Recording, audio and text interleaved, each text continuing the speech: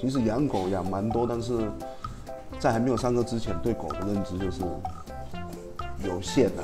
哦，你只能上网查啦，或者是说，哦，问有养狗的，但是毕竟每只狗的习性不一样。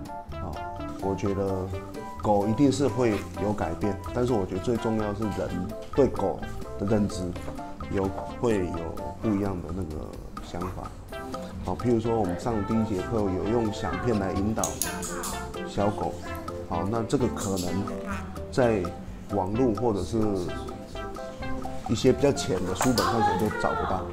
那整个课程的过程，那个考哥也是改变蛮多了。好，譬如说他比较不会在笼子里大号，好，那这个是其中一个改变。那还有最重要就是说。狗跟家人的互动也是跟还没上课之前差蛮多的。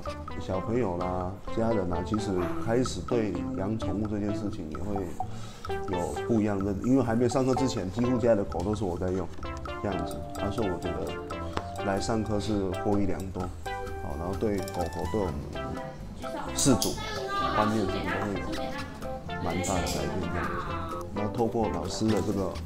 比较科学专业的训练啊，我们也也知道说再来如果还有狗要怎么训练，哎，其实就是买知识啊。